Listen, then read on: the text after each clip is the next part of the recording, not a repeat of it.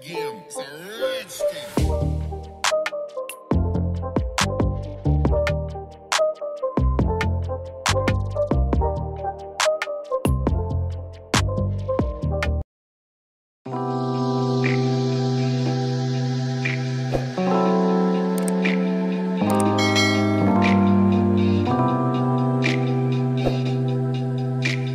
Hello, hello, my loves. Thank you guys for tuning into the channel today. Um, if this is your first time, welcome. Seriously. Uh, if you've been before, then of course, welcome back, fam. Okay. Um, super excited about today because I love this book. This is going to be a book review, you guys. Um, I love to read. Um, I like all kind of reading, but I'm definitely an old school fan, so I love to get me an actual book, curl up with something good in my cup to sip on, and um, go ahead and make it happen. Okay.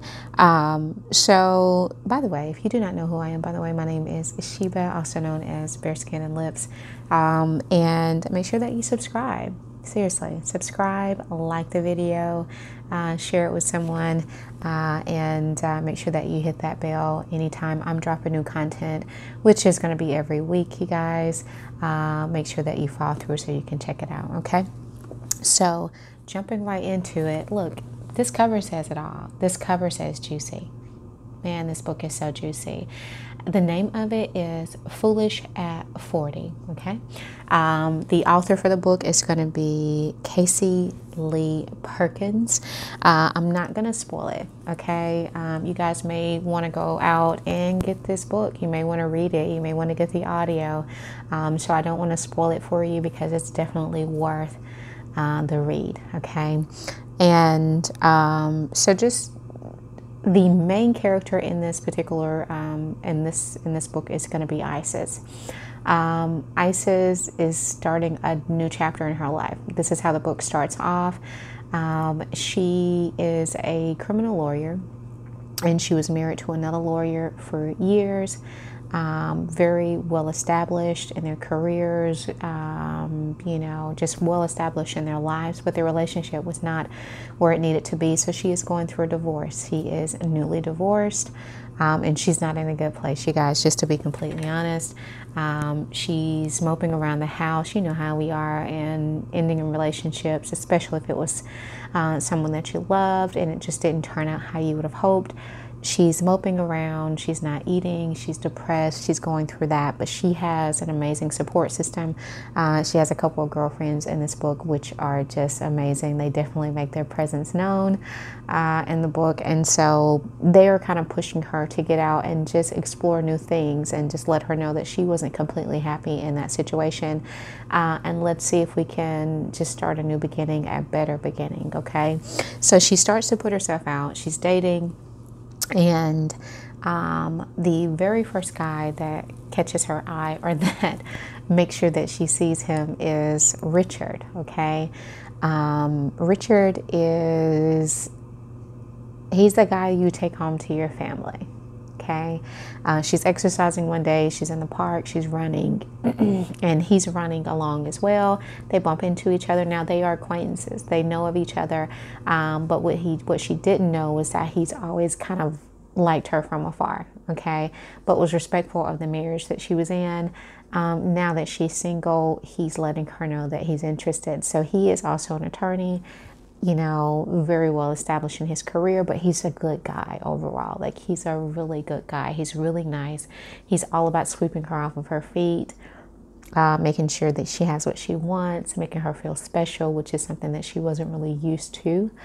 Um, and so, um, the previous marriage was that they showed a good face for the public, but behind closed doors, um, there was no substance, you know.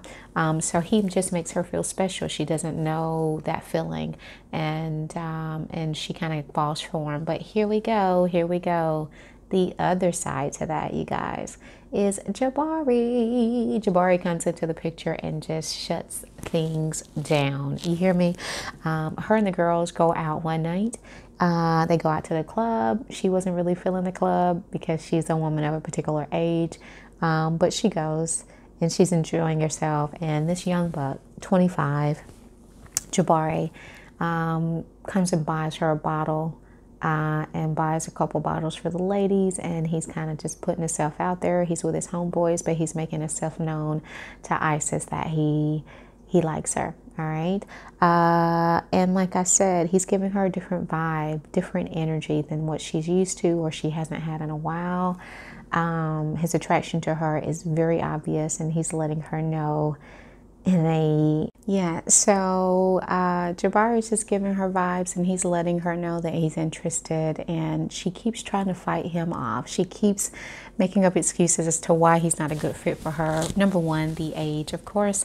Number two that you know she's a woman of a particular stature in her life and she doesn't want to be uh, recognized with him. But as she continues to fight, uh, the more she fights, the more he grabs her attention.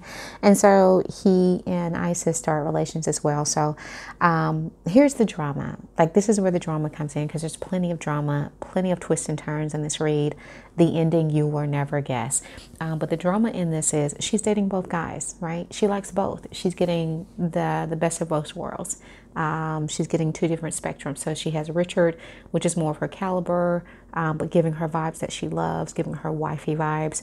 And then she has Jabari over here, which is giving her energy, which is giving her excitement, um, which is giving her just a different freedom that she's not used to. She's living a different way.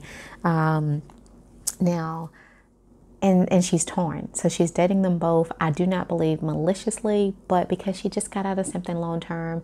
And let's just be honest, when you get out of a long term relationship, marriage, whatever that is, you don't want to jump right back into something because honestly, let me just say, speak for myself. I don't, or I didn't, um, and you're just trying to figure things out, and that's where she is. But something happens, and I can't, I don't want to go deep into it because I'm going to tell too much, but something happens where she is forced to tell both guys um, about each other. And they're both devastated. Like they're both upset with her because they both had that type of love for her. I mean, she's a beautiful woman, she's successful, she's an attractive woman in all aspects of that word. She has a lot to bring to the table, so they both were feeling some type of way when she exposed uh, her relationship with both men. And that's just the beginning. um, so, along with that information, and they both knowing about each other, um, uh, her ex husband comes back into play in such a major way, you guys, in such a major way. It's going to blow your mind.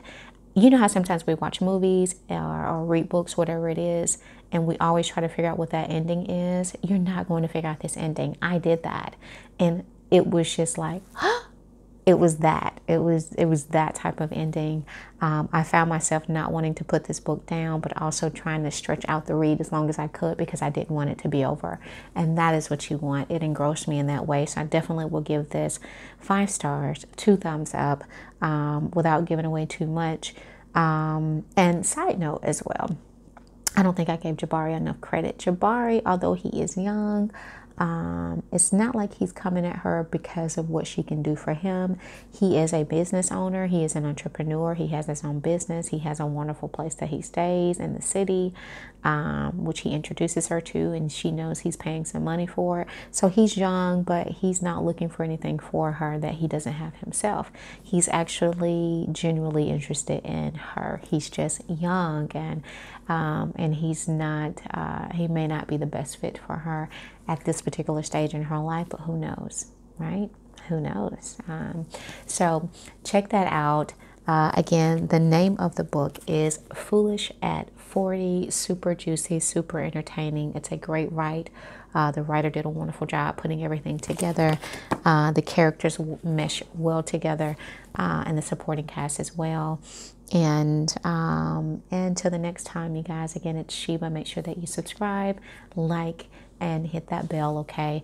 Um, as I always end every particular video that I'm in, and I mean it wholeheartedly, you guys. We are living in days where kindness is just really underrated, and being kind to someone doesn't cost us a thing, okay? Be kind to someone if you can. Uh, if you can be a blessing to someone besides yourself and your family, do that, okay? Uh, and you and your families stay blessed as well. Until the next time, it's your girl Sheba. I'm out of the building, bare skin and lips as well. Um, and that's it. Peace. Love you guys. Bye bye.